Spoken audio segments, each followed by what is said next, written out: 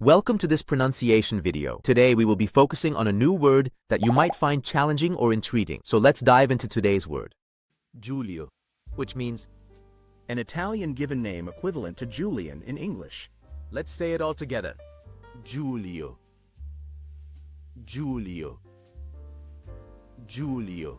One more time. Giulio. Giulio. Giulio.